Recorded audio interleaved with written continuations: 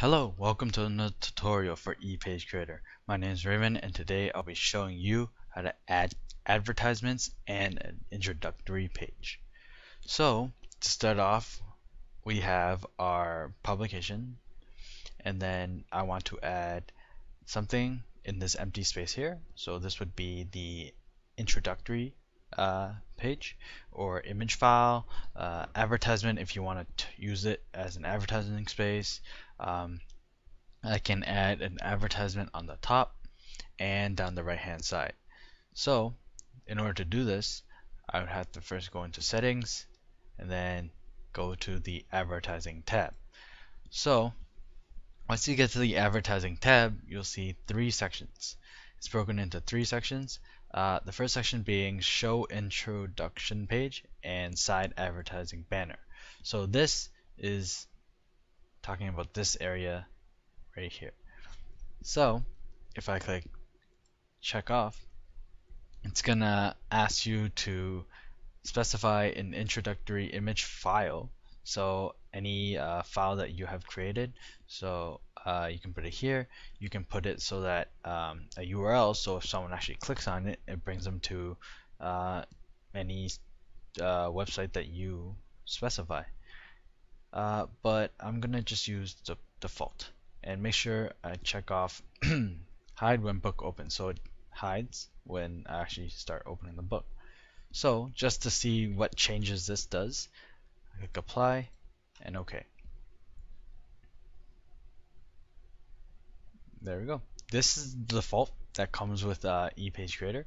Um, it's it's a really quick guide that you can. Um, it's the same buttons that you see here along the sides and down the bottom, except in a nice presentation format. So this is just an intro. So this is like a, sample of an intro image. Uh, that you can use. This is the, the built-in one. You can add your own. So moving on to advertisements. Um, I'm gonna make uh, advertisement on the top. So have it checked off, and then you have two modes: tile and slideshow mode. If you have more than one uh, ad, you can either display them using tile or slideshow. Tile would just put the ads right next to each other. So to show an example of tile, I can go add, choose an image file, the ePage creator logo, so ePage creator.net. Duration I'll explain in a little bit, so I'm just going to leave it as 5 for now. Okay. And this time I'm going to add the same image. So, but this time I'm going to add it as google.ca. So I'm just using the same image. You can use, uh, if you have multiple uh, different ad banners, you can add different ones. I'm just using this just to keep it simple. Uh, once again, I'm going to leave the duration uh, default 5 because I'll explain it later. Click OK. And position, I'm just going to leave it center. You can either change it so your banners show up uh, starting from the left, center, or right. Leave it centered. Click Apply. OK. There we go. The banners. Two banners. I created two banners. So if I click on one, the first one, it'll bring me to ePageCreator.net because that's the URL I put. And if I click on the second one, it opens up Google, just like I answered. So this is an example of um, tile. So if I go back in and let's say I don't want tile because it takes up too much. It looks very cluttered. I can choose slideshow instead.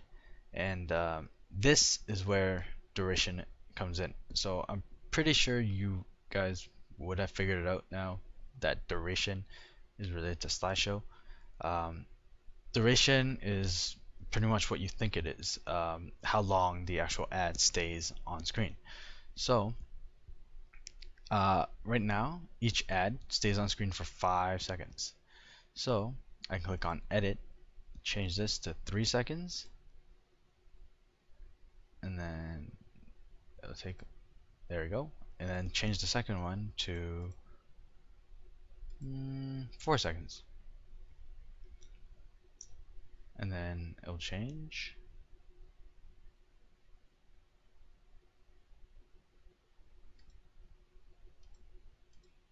There we go.